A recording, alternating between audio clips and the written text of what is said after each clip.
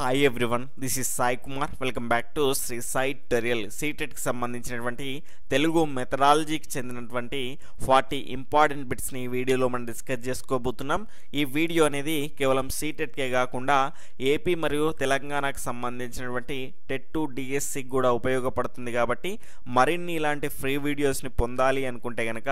ఇప్పుడే రెడ్ కలర్లో ఉన్నటువంటి సబ్స్క్రైబ్ బటన్ క్లిక్ చేసుకుని సబ్స్క్రైబ్ చేసుకోండి పక్కన ఆల్ నోటిఫికేషన్ బెల్ ఐకాన్ని క్లిక్ చేయడం ద్వారా నేను చేసేటువంటి ప్రతి వీడియో మీకు నోటిఫికేషన్ రూపంలోకి వస్తుంది ఈ విధంగా నిర్వహించేటువంటి లైవ్ టెస్ట్లకు సంబంధించినటువంటి సిలబస్ను ఒకరోజు ముందుగానే తెలుసుకోవాలి అనుకుంటే కనుక ఈ వీడియో యొక్క టైటిల్ని క్లిక్ చేస్తే ఒక డిస్క్రిప్షన్ అనేది ఓపెన్ అవుతుంది అందులో కనుక చూసుకుంటే మన టెలిగ్రామ్ గ్రూప్ అనేది ఉంటుంది అందులో మీరు జాయిన్ అవ్వడం ద్వారా టెట్ టు డిఎస్సి సీటెట్కి సంబంధించినటువంటి లేటెస్ట్ ఇన్ఫర్మేషన్ అదేవిధంగా ఫ్రీ ఆన్లైన్ క్లాసెస్ మరియు లైవ్ టెస్ట్లను ఉచితంగా పొందొచ్చు ఇక లేట్ చేయకుండా మన యొక్క కంటెంట్లోకి వెళ్ళిపోదాం ఈ రోజు లైవ్ టెస్ట్లో భాగంగా మనం మొదటి క్వశ్చన్ని కనుక చూసుకుంటే లింగ్విస్టిక్ సర్వే ఆఫ్ ఇండియా అనేటువంటి గ్రంథాన్ని రచించిన వారు ఎవరు option one MN batch option two Noam Chomsky option three Simon Potter option four Grierson live చూస్తున్న వాళ్ళంతా కూడా వీడియోను లైక్ చేసి మీ యొక్క సరి సమాధానాన్ని సమాధానాన్ని ఫాస్ట్గా కామెంట్ చేస్తూ ఉండాలి మీ క్వశ్చన్ని బట్టి కేవలం ఐదు నుంచి పది సెకండ్ల సమయం మాత్రమే ఇవ్వడం జరుగుతుంది గమనించాలి ఇక్కడ దీని యొక్క సరి అయినటువంటి సమాధానం ఏంటి అంటే ఆప్షన్ ఫోర్ గ్రియర్స్ అండి లింగ్విస్టిక్ సర్వే ఆఫ్ ఇండియా అనేటువంటి గ్రంథాన్ని రచించిన వారెవరు అంటే గ్రియర్సన్ ఆ గ్రంథానికి సంబంధించినటువంటి తదుపరి ఇన్ఫర్మేషన్ని మనం నెక్స్ట్ క్వశ్చన్లో తెలుసుకుందాం తర్వాత రెండవ question linguistic survey of India అనేటువంటి గ్రంథంలో ఎన్ని మాండలికాలు ఉన్నాయి ఆప్షన్ వన్ నూట ఐదు ఆప్షన్ టూ ఐదు వందల నలభై నాలుగు ఆప్షన్ త్రీ ఆరు వందల యాభై ఆప్షన్ ఫోర్ నూట నలభై నాలుగు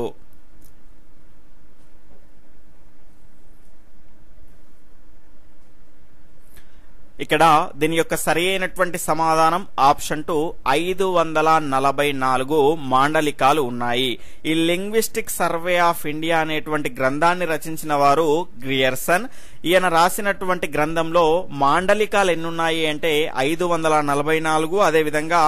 నూట డెబ్బై ఐదు భాషలు అదేవిధంగా పది ఏమున్నాయి అంటే సంపుటాలు ఉన్నాయి తర్వాత మూడవ క్వశ్చన్ మన దేశంలో ఎన్ని భాషా కుటుంబాలు కలవు ఆప్షన్ వన్ మూడు ఆప్షన్ టూ నాలుగు ఆప్షన్ త్రీ ఐదు ఆప్షన్ ఫోర్ ఆరు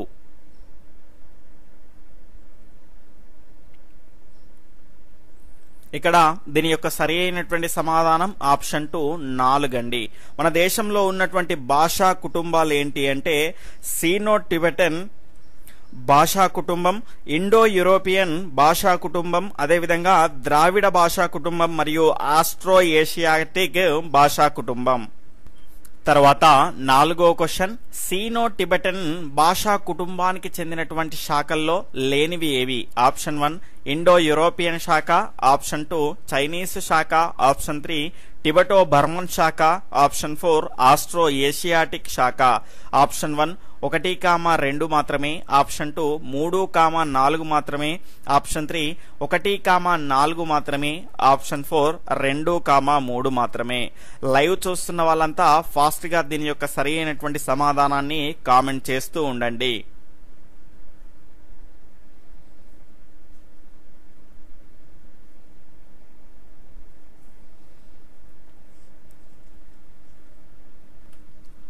ఇక్కడ దీని యొక్క సరి అయినటువంటి సమాధానం ఆప్షన్ త్రీ ఒకటి కామా నాలుగు అండి ఇండో యూరోపియన్ శాఖ తర్వాత ఆస్ట్రో ఏషియాటిక్ శాఖ ఇవి శాఖలు కాదండి ఇవి భాషా కుటుంబాలు సీనో టిబెటన్ భాషా కుటుంబం అనేది ఏ రకంగా ఏర్పడింది అంటే హిమాలయ పర్వతాల నుండి ఈశాన్య భారతదేశానికి వలస వచ్చినటువంటి మంగోలాయిడ్ తెగ స్థిర నివాసం ఏర్పరచుకోవడం వల్ల ఈ రకమైనటువంటి సీనో టిబెటన్ భాషా కుటుంబం అనేది ఏర్పడింది ఇందులో కనుక చూసుకుంటే రెండు శాఖలు ఉన్నాయండి ఈ ఇందులో ఈ భాషా కుటుంబంలో రెండు శాఖలు ఉన్నాయి అదేంటి అంటే చైనీస్ శాఖ ఒకటి దాని తర్వాత టిబెటో బర్మన్ శాఖ అనేటువంటి రెండు శాఖలు ఉన్నాయి తర్వాత ఐదవ క్వశ్చన్ ప్రపంచంలో ఎక్కువ మంది ప్రజలు మాట్లాడుతున్నటువంటి భాషా కుటుంబం ఏది ఆప్షన్ వన్ సీనో టిబెటన్ భాషా కుటుంబం ఆప్షన్ టూ ఇండో యూరోపియన్ భాషా కుటుంబం ఆప్షన్ త్రీ ద్రావిడ భాషా కుటుంబం ఆప్షన్ ఫోర్ ఆస్ట్రో ఏసియాటిక్ భాషా కుటుంబం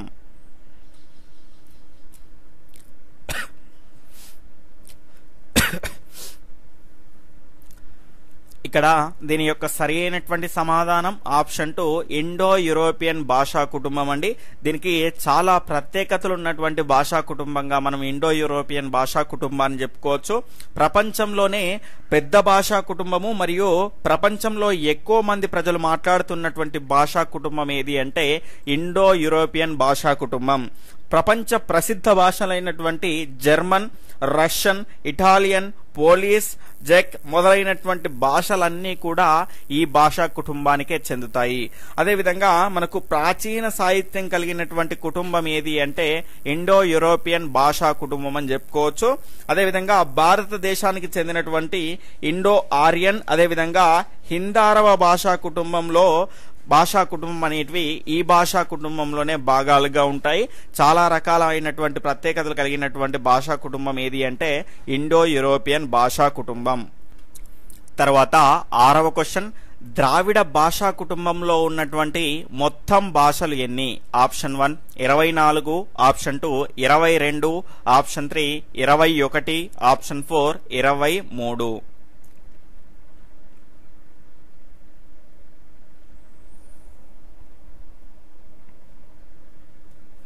ఇక్కడ దీని యొక్క సరి అయినటువంటి సమాధానం ఆప్షన్ ఫోర్ ఇరవై మూడు అండి ఇక్కడ భారతదేశంలో కనుక చూసుకుంటే ద్రావిడ భాషా కుటుంబం అనేది ఒకటి దక్షిణ భారతదేశంలో మాట్లాడేటువంటి భాషలన్నీ కూడా ద్రావిడ భాషా కుటుంబంలోకి వస్తాయి ఇందులో మొత్తంగా మనకు ఇరవై మూడు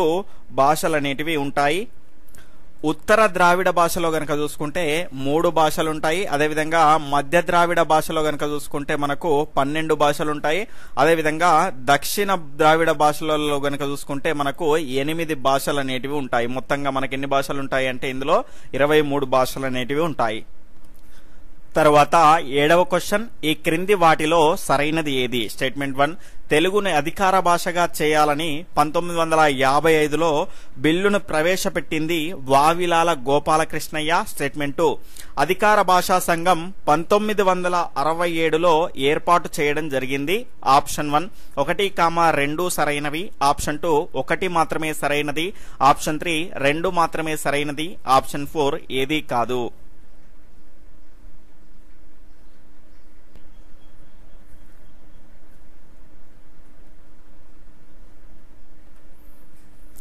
ఇక్కడ దీని యొక్క సరి అయినటువంటి సమాధానం ఆప్షన్ టు ఒకటి మాత్రమే సరి అయినది రెండవది సరి అయినది కాదు ఎందుకు అంటే అధికార భాషా సంఘాన్ని ఎప్పుడు ఏర్పాటు చేయడం జరిగింది అంటే పంపడం జరిగింది తెలుగుని అధికార భాషగా చేయాలని పంతొమ్మిది వందల యాభై ఐదులో బిల్లు ప్రవేశపెట్టిన వారెవరు అంటే వావిలాల గోపాలకృష్ణయ్య గారు అదేవిధంగా తెలుగుని అధికార భాషగా చేయాలని పంతొమ్మిది వందల అరవై నాలుగు నుంచి అరవై ఆరు మధ్యలో గనక చూసుకుంటే తొమ్మిది సార్లు బిల్లు ప్రవేశపెట్టినటువంటి మహానీయుడు ఎవరైనా ఉన్నారు అంటే అదెవరు అంటే వావిలాల గోపాలకృష్ణయ్య గారు గారు తర్వాత ఎనిమిదవ క్వశ్చన్ ఎవరి అధ్యక్షతన అధికార భాషగా తెలుగు చేయడంపై ఒక కమిటీ అనేది ఏర్పాటు చేయడం జరిగింది option one Vavilala Gopalakrishnayya option two Shrimati Anasuyamma option three Devulapalli Prabhakar Rao option four PV Narasimha Rao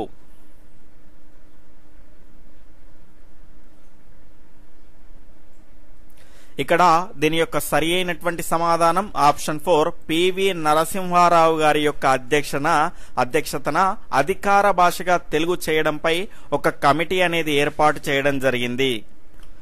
తరువాత తొమ్మిదవ క్వశ్చన్ అధికార భాషా సంఘానికి తొలి అధ్యక్షుడు ఎవరు option one Vavilala Gopalakrishnayya option two Shrimati Anasuyamma option three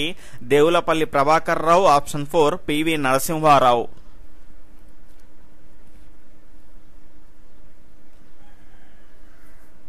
ఇక్కడ దీని యొక్క సరి అయినటువంటి సమాధానం ఆప్షన్ వన్ వావిలాల గోపాలకృష్ణయ్య గారండి అంతగానం కష్టపడ్డ తర్వాత ఆయన్ని అధ్యక్షుడిగా పెట్టకపోతే ఇంకేమైనా పెడతారండి వావిలాల గోపాలకృష్ణయ్య గారు తొలి అధ్యక్షుడిగా అధికార భాషా సంఘానికి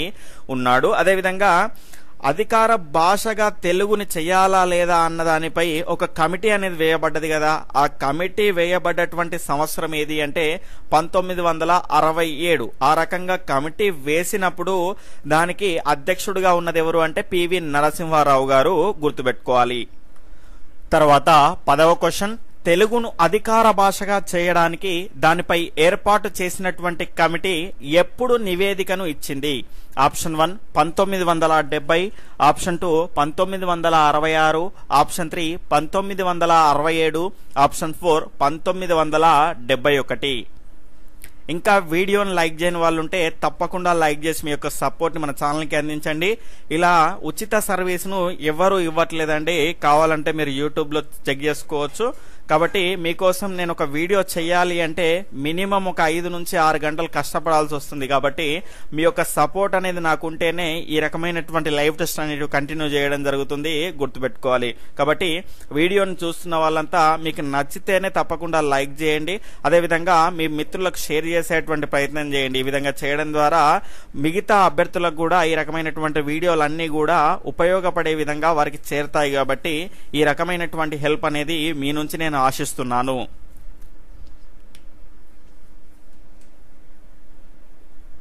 ఇక్కడ దీని యొక్క సరి అయినటువంటి సమాధానం ఆప్షన్ ఫోర్ పంతొమ్మిది వందల డెబ్బై ఒకటి అండి ఇక్కడ తెలుగును అధికార భాషగా చేయడానికి దానిపై ఏర్పాటు చేసినటువంటి కమిటీ ఎప్పుడు ఏర్పాటు చేసినారు అంటే పంతొమ్మిది వందల అరవై ఏడులో ఏర్పాటు చేయడం జరిగింది అప్పుడు అధ్యక్షుడిగా ఎవరుండే పివి నరసింహారావు గారి అధ్యక్షతన ఏర్పాటు చేయడం జరిగింది కానీ ఆ కమిటీ అనేది ఒక నివేదిక అనేది ఇస్తుంది కదా నివేదిక సమర్పించినటువంటి సంవత్సరం ఏది అంటే పంతొమ్మిది వందల డెబ్బై ఒకటి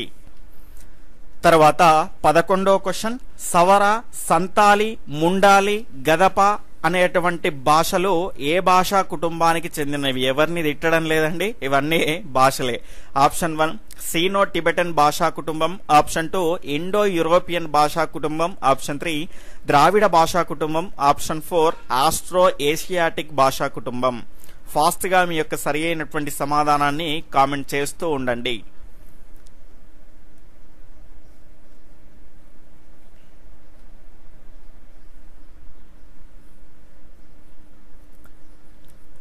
ఇక్కడ దీని యొక్క సరి అయినటువంటి సమాధానం ఆప్షన్ ఫోర్ ఆస్ట్రో ఏషియాటిక్ భాషా కుటుంబానికి చెందినటువంటి భాషలే ఈ సవర సంతాలి ముండాలి గదబ అనేటువంటి భాషలు ఈ గదబ అనేది మనకి ఇక్కడ చూసుకుంటే మధ్య ద్రావిడ భాషల్లో కూడా వస్తుంది ఆస్ట్రేలియా ఖండం నుండి ఆగ్నేయాసియా వరకు వ్యాపించి ఉన్నటువంటి భాషలే ఈ సవర సంతాలి ముండాలి గదబ తర్వాత పన్నెండవ క్వశ్చన్ క్రింది వాటిలో ఉత్తర ద్రావిడ భాషా కుటుంబానికి చెందినది ఏది option one Naiki option two Konda option three Pengo option four Kurukh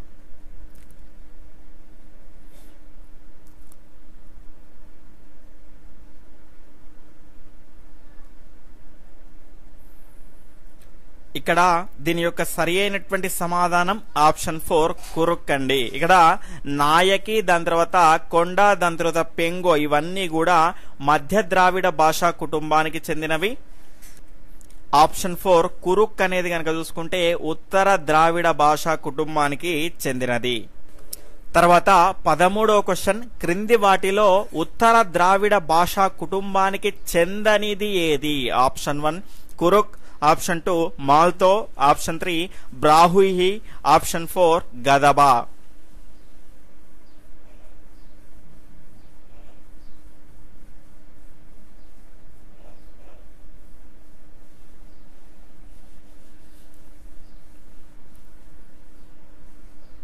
ఇంతకుముందు చెప్పినటువంటి క్వశ్చన్ అనేది గుర్తుంటే దీనికి సులభంగా ఆన్సర్ చేయగలుగుతారు ఆల్రెడీ మనం ఏమనుకున్నాము గదబా అనేది ఆస్ట్రో ఏషియాటిక్ భాషా కుటుంబానికి మరియు మధ్య ద్రావిడ భాషా కుటుంబానికి చెందుతుంది అన్నాం అంటే ఉత్తర ద్రావిడ భాషా కుటుంబానికి చెందనదే అర్థము కాబట్టి దీని యొక్క ఆన్సర్ ఆప్షన్ ఫోర్ గదబ అదేవిధంగా మనకు ఉత్తర ద్రావిడ భాషా కుటుంబంలో కనుక చూసుకుంటే మూడు భాషలు ఉంటాయండి ఆ మూడు భాషల్లో మొదటిది కురుక్ దాని తర్వాత మాల్తో దాని తర్వాత బ్రాహుయి ఈ రకంగా మూడు భాషలు ఉంటాయి తర్వాత పద్నాలుగో క్వశ్చన్ మనోవైజ్ఞానిక శాస్త్రం ప్రకారం పద్య బోధనకు విరుద్ధమైనది ఏది ఆప్షన్ వన్ ఖండాన్వయ పద్ధతి ఆప్షన్ టూ పూర్ణ పద్ధతి ఆప్షన్ త్రీ పఠన పద్ధతి ఆప్షన్ ఫోర్ తాత్పర్య పద్ధతి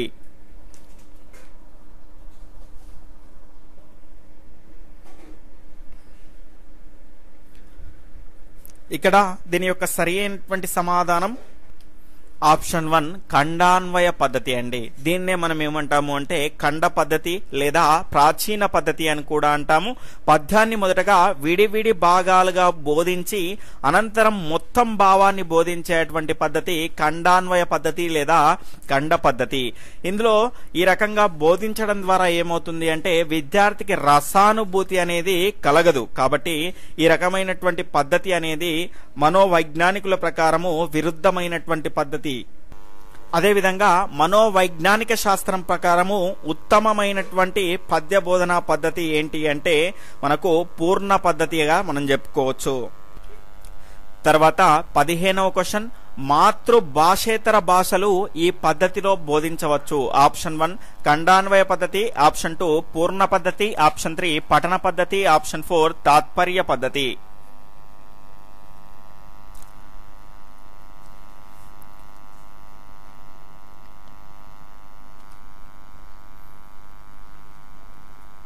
దీని యొక్క సరైనటువంటి సమాధానం ఆప్షన్ ఫోర్ తాత్పర్య పద్ధతి అండి వేరే భాషల్లో ఉన్నటువంటి అంశాలని మనం బోధించాలి అంటే ఖచ్చితంగా దాని యొక్క తాత్పర్యాన్ని బోధించి దాని తర్వాత మనకు చెప్పడం ద్వారా ఏమవుతుంది అంటే సులభంగా అర్థమవుతుంది కాబట్టి ఈ రకమైనటువంటి మాతృభాషేతర భాషలు ఈ పద్ధతిలో బోధించవచ్చంటే అది ఏ భాష అంటే తాత్పర్య భాష తర్వాత పదహారవ క్వశ్చన్ విద్యార్థులకు భాష పట్ల అనుకూల వైఖరి భాష అభిరుచి పెంపొందించడానికి ఉపయోగపడేటువంటి పద్ధతి ఏది ఆప్షన్ వన్ చర్చా పద్ధతి ఆప్షన్ టూ ప్రశ్నోత్తర పద్ధతి ఆప్షన్ త్రీ ప్రశంసా పద్ధతి ఆప్షన్ ఫోర్ తాత్పర్య పద్ధతి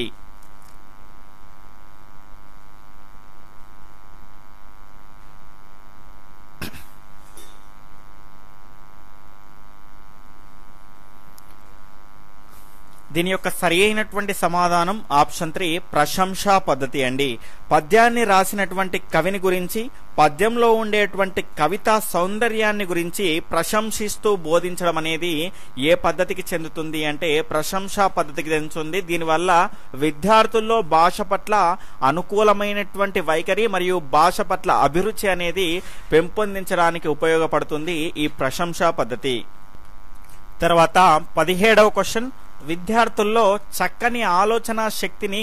తార్కిక శక్తిని పెంపొందించేటువంటి పద్ధతి ఏది ఆప్షన్ వన్ పూర్ణ పద్ధతి ఆప్షన్ టూ చర్చా పద్ధతి ఆప్షన్ త్రీ ఖండ పద్ధతి ఆప్షన్ ఫోర్ ప్రశ్నోత్తర పద్ధతి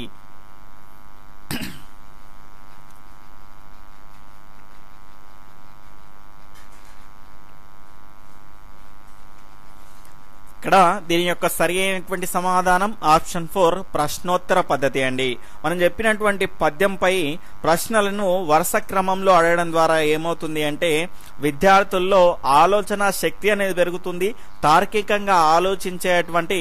శక్తి అనేది పెరగడం జరుగుతుంది కాబట్టి ఈ పద్ధతిలో విద్యార్థులకు ఆలోచన శక్తి భాషణ సామర్థ్యాలు పెంపొందుతాయి అని అడిగాడు అనుకోండి మనం టిక్ చేయాల్సినటువంటి పద్ధతి ఏది అంటే ప్రశ్నోత్తర పద్ధతి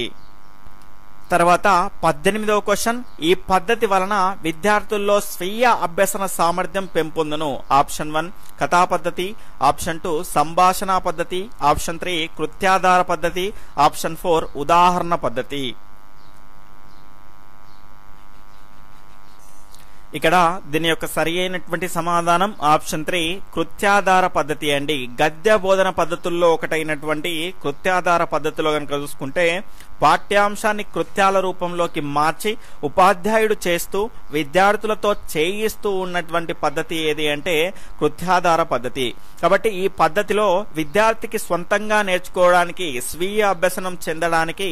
ఎక్కువగా అవకాశం అనేది ఉంటుంది కాబట్టి option three is right answer తర్వాత పంతొమ్మిదవ క్వశ్చన్ పద్య బోధన వల్ల విద్యార్థికి కలిగేటువంటి ప్రయోజనాల్లో లేనిది ఏది ఆప్షన్ వన్ రసానుభూతి ఆప్షన్ టూ ఆనందానుభూతి ఆప్షన్ త్రీ సాహిత్యాభిలాష ఆప్షన్ ఫోర్ భాషా జ్ఞానం ఆప్షన్ వన్ ఒకటి కామ రెండు మాత్రమే సరైనది ఆప్షన్ టూ రెండు మూడు మాత్రమే సరైనవి ఆప్షన్ త్రీ నాలుగు మాత్రమే సరైనది అంటే లేనిది ఈ ఆన్సర్కు సెట్ అయ్యేది ఆప్షన్ ఫోర్ ఏది కాదు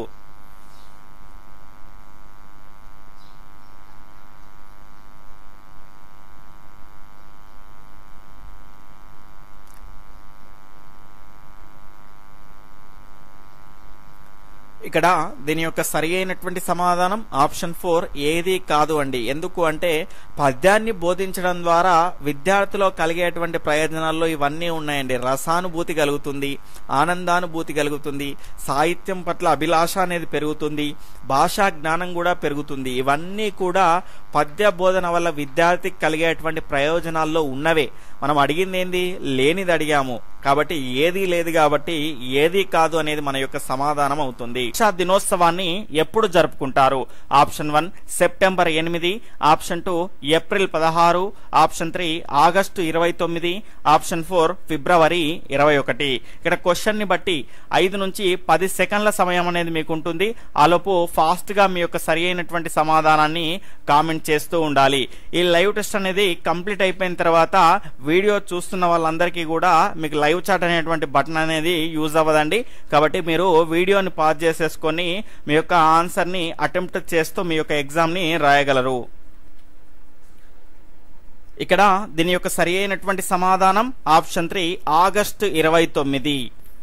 ఈ రోజుకున్నటువంటి ప్రత్యేకత ఏంటి అంటే గ్రాంధిక భాషలో ఉన్నటువంటి తెలుగు వచనాన్ని ప్రజల యొక్క వాడుక భాష అంటే వ్యవహారిక భాషలోకి తీసుకువచ్చి వ్యవహారిక భాష పితామహుడిగా పేరు పొందినటువంటి గిడుగు వెంకట రామ్మూర్తి గారి పుట్టినరోజును పురస్కరించుకొని తెలుగు భాషా దినోత్సవాన్ని ఆగస్టు ఇరవై తొమ్మిదిన జరుపుకుంటారు తర్వాత రెండవ క్వశ్చన్ బృంద బోధనను వ్యాప్తి చేయడానికి కృషి చేసిన వారు ఎవరు option one Lexington option two Francis Bacon option three G Light Trump option four Francis Chase option one ఒకటి కామా రెండు మాత్రమే ఆప్షన్ టూ మూడు కామా నాలుగు మాత్రమే ఆప్షన్ త్రీ రెండు కామా మూడు మాత్రమే ఆప్షన్ ఫోర్ పై వారందరూ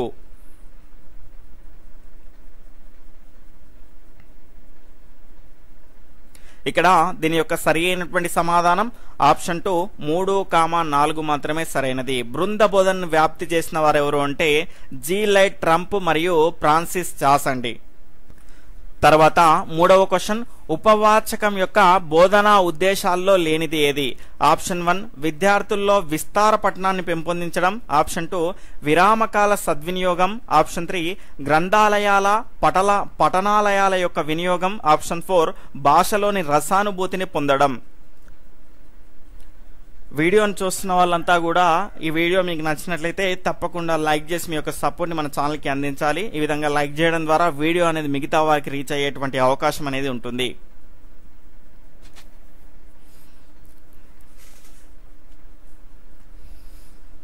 ఇక్కడ దీని యొక్క సరి అయినటువంటి సమాధానం ఆప్షన్ ఫోర్ భాషలోని రసానుభూతిని పొందడం ఇక్కడ ఉపవాచకం అనేది విస్తార పఠనానికి ఉపయోగపడుతుందండి ఇది కేవలం విషయం పైన మాత్రమే ఆధారపడి ఉంటుంది కానీ అందులో ఉన్నటువంటి భాష దానికి సంబంధించినటువంటి రసానుభూతి పొందడాన్ని ఇది ఇది విభేదించడం జరుగుతుంది మరి వాచకంలో గనక చూసుకుంటే భాషలో ఉన్నటువంటి రసానుభూతి పొందడానికి వాచకం అనేది ఉపయోగపడుతుంది మనకు ఉపవాచకం అనేది విస్తార పట్టణాన్ని అందులో ఉన్నటువంటి విషయ జ్ఞానాన్ని పొందడానికి మాత్రం ఉపయోగపడుతుంది తర్వాత నాలుగో క్వశ్చన్ ఉపవాచక బోధనా పద్ధతుల్లో బోధనకు అనువైన లేదా ఉత్తమమైనటువంటి పద్ధతి ఏది ఆప్షన్ వన్ కథాకథన పద్ధతి ఆప్షన్ టూ చర్చా పద్ధతి ఆప్షన్ త్రీ పరిశోధనా పద్ధతి ఆప్షన్ ఫోర్ ఉపన్యాస పద్ధతి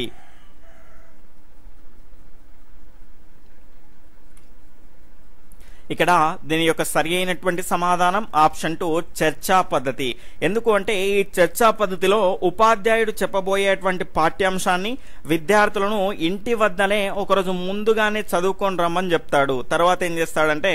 ఆ విషయం గురించి ప్రశ్నల రూపంలో విస్తృతంగా చర్చ అనేది జరుగుతుంది తర్వాత ముఖ్యాంశాల నల్లబయలపైన రాస్తూ విషయావగాహన చేయడానికి ఈ రకమైనటువంటి చర్చా పద్ధతి అనేది ఉపయోగపడుతూ ఉంటుంది అంటే విద్యార్థుల యొక్క ప్రమేయం అనేది ఎక్కువగా ఉండడం వల్ల ఈ రకమైనటువంటి పద్ధతి ఉపవాచక బోధనా పద్ధతుల్లో ముఖ్యమైనటువంటి ఉత్తమమైనటువంటి పద్ధతిగా మనం చెప్పుకోవచ్చు ఈ బోధన పద్ధతుల్లో ఇలాంటి ప్రశ్నలు వస్తాయండి ముఖ్యమైనటువంటి పద్ధతి ఏది లేదంటే ఈ ఉపవాచక బోధనా పద్ధతి పద్ధతుల్లో ఉన్నదేది లేనిదేది ఆ రకమైనటువంటి ప్రశ్నలే వచ్చేటువంటి అవకాశం ఉంటుంది కాబట్టి చాలా క్లియర్గా నేర్చుకునేటువంటి ప్రయత్నం అనేది చేయాలి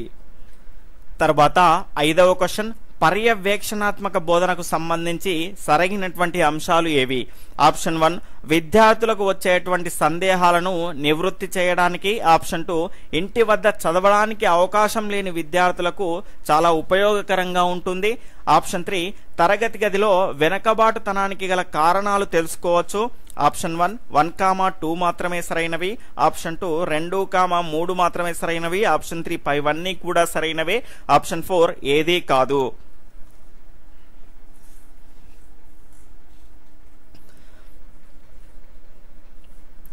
ఇక్కడ దీని యొక్క సరి అయినటువంటి సమాధానం option three one two three అన్నీ కూడా సరి అయినవి పర్యవేక్షణాత్మక బోధన దీని యొక్క మరి యొక్క పేరేంటి అంటే నియంత్రిత అధ్యయనము లేదా నియంత్రణ అధ్యయనము అంటాము దీని ద్వారా ఏమవుతుంది అంటే విద్యార్థులకు వచ్చేటువంటి సందేహాలను నివృత్తి చేయడానికి అవకాశం ఉంటుంది అదేవిధంగా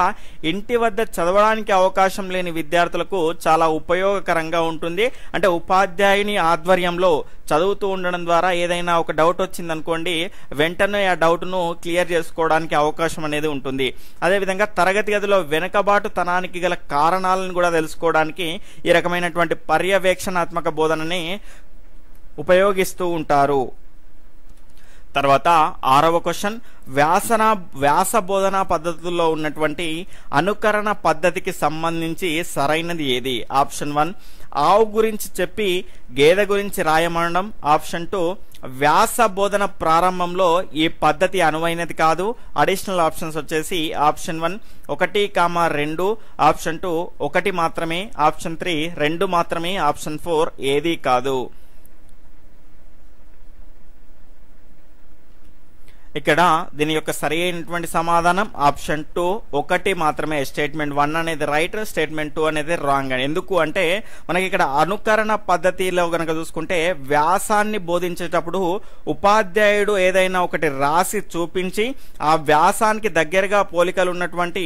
మరొక అంశాన్ని ఇచ్చి అనుకరిస్తూ రాయమండడం అనేది ఈ రకమైనటువంటి అనుకరణ పద్ధతికి చెందుతుంది ఈ వ్యాస బోధన అనేది ప్రారంభంలో ఈ రకమైనటువంటి పద్ధతి అనేది మనకు వ్యాసాన్ని రాసేటువంటి ప్రారంభంలో ఈ రకమైనటువంటి పద్ధతి అనేది మనకు ఉపయోగకరంగా ఉంటుంది ఇక్కడ ఉపయోగకరంగా ఉండదు అన్నాడు కాబట్టి ఇది సరి అయినది కాదు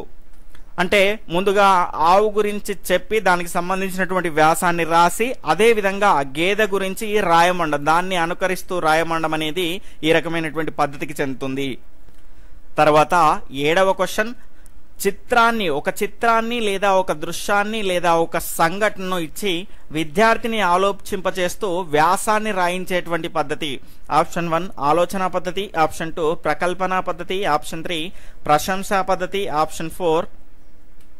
ప్రయత్న పద్ధతి అండి ఆప్షన్ ఫోర్ వచ్చేసి ప్రయత్న పద్ధతి ఫాస్ట్గా మీ యొక్క సమాధానాన్ని కామెంట్ చేస్తూ ఉండండి ఇక్కడ దీని యొక్క సరి అయినటువంటి సమాధానం ఆప్షన్ వన్ ఆలోచన పద్ధతి అండి ఆలోచన పద్ధతిలో కనుక చూసుకుంటే ఏదైనా ఒక చిత్రాన్ని కానీ ఒక దృశ్యాన్ని కానీ ఒక సంఘటన కానీ ఇచ్చి విద్యార్థిని ఆలోచింపచేస్తూ వ్యాసాన్ని రాయించేటువంటి పద్ధతి ఏది అంటే ఆలోచన పద్ధతి ఇక్కడ ప్రకల్పన పద్ధతి అని కొంతమందికి డౌట్ రావచ్చు ఈ ప్రకల్పన పద్ధతిలో కనుక చూసుకుంటే అంటే ఒక ప్రాజెక్టులో భాగంగా విద్యార్థి తాను చేసినటువంటి పని గురించి వ్యాసం రాస్తే అదేంటి అంటే ప్రకల్పన పద్ధతి తర్వాత ఎనిమిదవ క్వశ్చన్ వ్యాస బోధనా పద్ధతుల్లో లేనిది ఏది ఇక్కడ ఆప్షన్ వన్ అభివర్ణన పద్ధతి ఆప్షన్ టూ ప్రాజెక్టు పద్ధతి ఆప్షన్ త్రీ పరిశోధనా పద్ధతి ఆప్షన్ ఫోర్ ప్రయత్న పద్ధతి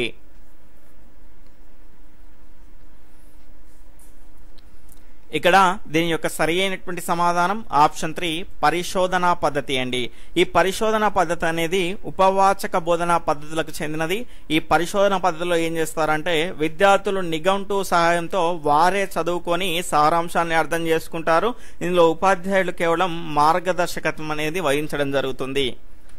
తర్వాత తొమ్మిదవ క్వశ్చన్ క్రింది వాటిలో ఉపవాచక బోధనా పద్ధతులకు చెందనిది ఏది ఆప్షన్ వన్ అభివర్ణన పద్ధతి ఆప్షన్ టూ కథాకథన పద్ధతి ఆప్షన్ త్రీ ఉపన్యాస పద్ధతి ఆప్షన్ ఫోర్ చర్చా పద్ధతి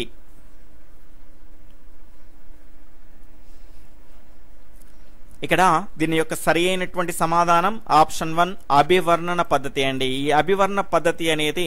వ్యాస బోధనా పద్ధతులకు చెందినది కథా కథన పద్ధతి అదేవిధంగా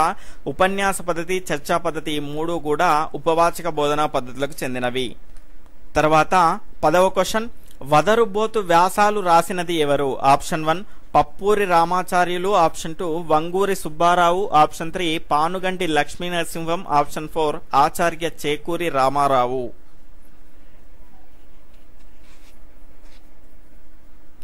ఇక్కడ దీని యొక్క సరి అయినటువంటి సమాధానం ఆప్షన్ వన్ పప్పూరి రామాచార్యులు అండి అదేవిధంగా వంగూరి సుబ్బారావు గారు రాసినటువంటి వ్యాసాలని కనుక చూసుకుంటే వసంత లేఖలు అదేవిధంగా పానుగంటి లక్ష్మీ నరసింహం గారు రాసింది ఏంటి అంటే సాక్షి వ్యాసాలు అదేవిధంగా చేరా చేకూరి రామారావు గారు రాసింది ఏంటి అంటే తెలుగులో వెలుగులు తర్వాత పదకొండో క్వశ్చన్ విద్యార్థులకు వ్యాస బోధనా పద్ధతుల్లో ఉత్తమమైనది ఏది ఆప్షన్ వన్ ప్రాజెక్టు పద్ధతి ఆప్షన్ టూ ప్రశంసా పద్ధతి ఆప్షన్ త్రీ ఆలోచనాత్మక పద్ధతి ఆప్షన్ ఫోర్ ప్రయత్న పద్ధతి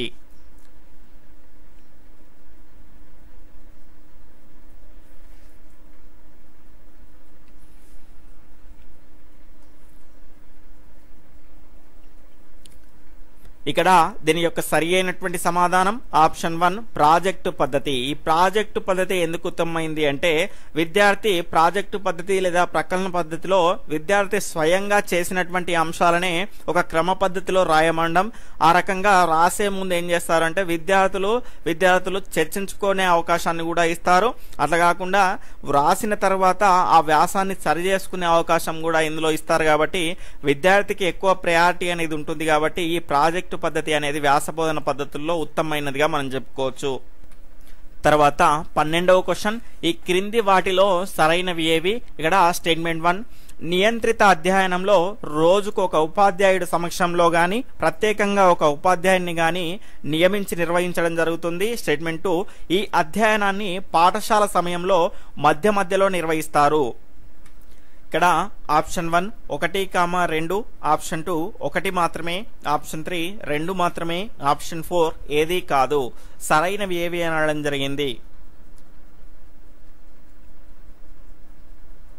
ఇక్కడ దీని యొక్క సరి అయినటువంటి సమాధానం ఆప్షన్ టూ ఒకటి మాత్రమే సరైనది రెండవది సరైనది కాదు ఎందుకంటే ఈ నియంత్రిత అధ్యయనం లేదా పర్యవేక్షణకు సంబంధించినటువంటి అధ్యయనం అనేది రోజుకు ఒక ఉపాధ్యాయుడి సమక్షంలో కానీ ప్రత్యేకంగా ఉపాధ్యాయుని నియమించి కానీ నిర్వహించడం జరుగుతుంది ఈ అధ్యయనం అనేది ఎప్పుడు ఉంటుంది అంటే పాఠశాల సమయానికి ముందు కానీ లేదంటే చివరి పీరియడ్లో కానీ ఉంటుంది కానీ మధ్య మధ్యలో ఉండదు తర్వాత పదమూడవ క్వశ్చన్ పాఠశాల దశలో ఉపవాచక బోధనకు అనుసరణీయం కాని పద్ధతి ఆప్షన్ వన్ పఠనా పద్ధతి ఆప్షన్ టూ చర్చా పద్ధతి ఆప్షన్ త్రీ ఉపన్యాస పద్ధతి ఆప్షన్ ఫోర్ పరిశోధనా పద్ధతి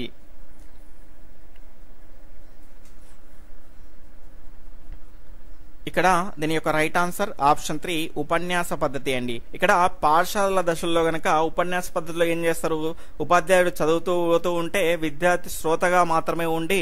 ఎలాంటి రోల్ ఉండకుండా వింటూ మాత్రమే ఉంటాడు కాబట్టి ఈ రకమైనటువంటి బోధనా పద్ధతి అనేది పాఠశాల దశలో ఉపయుక్తమైనటువంటిది కాదు తర్వాత పద్నాలుగో క్వశ్చన్ బృంద బోధనకు సంబంధించి సరికానిది ఏది ఆప్షన్ వన్ ఇది ప్రాచీన బోధనా వ్యూహాల్లో ఒకటి ఆప్షన్ టూ దీన్ని పంతొమ్మిది వందల యాభై ఐదులో హార్వర్డ్ యూనివర్సిటీ వారు మొదటిసారిగా ప్రవేశపెట్టడం జరిగింది ఆప్షన్ వన్ ఒకటి కామ రెండు ఆప్షన్ టూ ఒకటి మాత్రమే ఆప్షన్ త్రీ రెండు మాత్రమే ఆప్షన్ ఫోర్ వచ్చేసి ఏదీ కాదు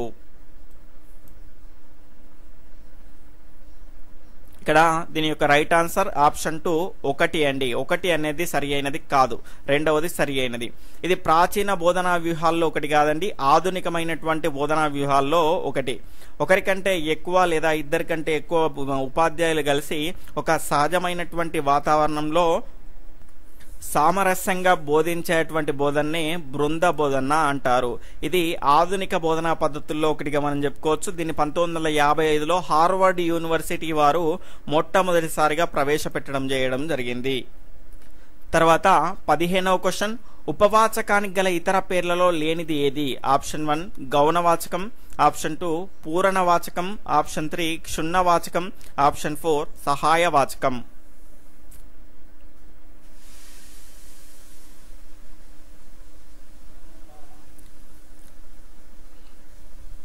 ఇక్కడ దీని యొక్క సరి అయినటువంటి సమాధానం ఆప్షన్ త్రీ వాచకం అండి ఇది క్షుణ్యవాచకం కాదు ఉపవాచకం అనేది విస్తారవాచకంగా మనం చెప్పుకోవచ్చు దీనికి ఉన్నటువంటి పేర్లు ఏంటి అంటే గౌణవాచకం లేదా పూరణవాచకం లేదా సహాయవాచకం లేదా విస్తారవాచకం తర్వాత పదహారో క్వశ్చన్ ఒకే పాఠ్యాంశాన్ని వైవిధ్యమైనటువంటి బోధనా నైపుణ్యంతో ఒకరికంటే ఎక్కువ మంది ఉపాధ్యాయులు కలిసి ఆలోచించి బోధన నిర్వహించడమే బృంద బోధన అన్నది option one M B Nayak option two David Warwick option three Carlo option option four one and two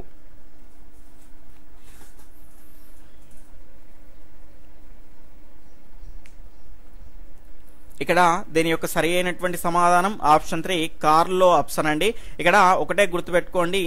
ఇక్కడ ఒకరి కంటే ఎక్కువ అని వచ్చింది అనుకోండి ఒకరి కంటే ఎక్కువగా కారులో పడతారు కదండి ఆ రకంగా గుర్తుపెట్టుకోండి ఇద్దరి కన్నా ఎక్కువ ఇద్దరు లేదా అంతకంటే ఎక్కువగా అంటే మాత్రం ఎంబీ నాయకు వస్తాడు దీని యొక్క right answer option three Carlo option తర్వాత పదిహేడవ క్వశ్చన్ తెలుగు అనేది ఈ ద్రావిడ భాషా కుటుంబానికి చెందినది ఆప్షన్ వన్ ఉత్తర ద్రావిడ భాషా కుటుంబం ఆప్షన్ టూ దక్షిణ ద్రావిడ భాషా కుటుంబం ఆప్షన్ త్రీ మధ్య ద్రావిడ భాషా కుటుంబం ఆప్షన్ ఫోర్ ఇండో యూరోపియన్ భాషా కుటుంబం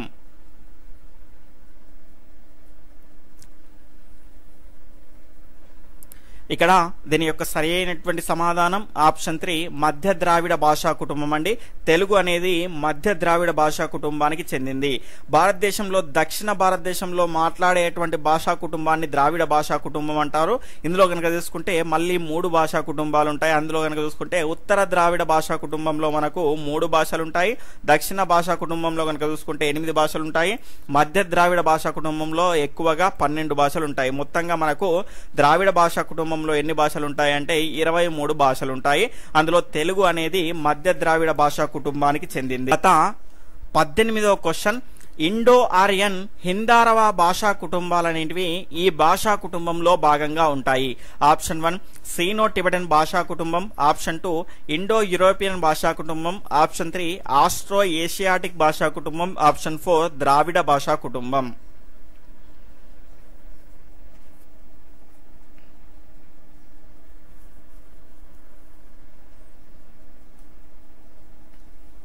ఇక్కడ దీని యొక్క సరి అయినటువంటి సమాధానం ఆప్షన్ టూ ఇండో యూరోపియన్ భాషా కుటుంబం అనేది చాలా ముఖ్యమైనటువంటి భాషా కుటుంబంగా మనం చెప్పుకోవచ్చు ఇది ప్రపంచంలోనే పెద్ద భాషా కుటుంబం మరియు ప్రపంచంలో ఎక్కువ మంది ప్రజలు మాట్లాడేటువంటి భాషా కుటుంబంగా మనం చెప్పుకోవచ్చు అదేవిధంగా ప్రపంచంలోనే గనక చూసుకుంటే ప్రసిద్ధమైనటువంటి భాషలైనటువంటి పోలీస్ రష్యన్ ఇటాలియన్ జర్మన్ జెక్ అనేటువంటి భాషలు కూడా ఈ కుటుంబానికి చెందినవి అంతేకాకుండా ప్రాచీన సాహిత్యం కలిగి ఉన్నటువంటి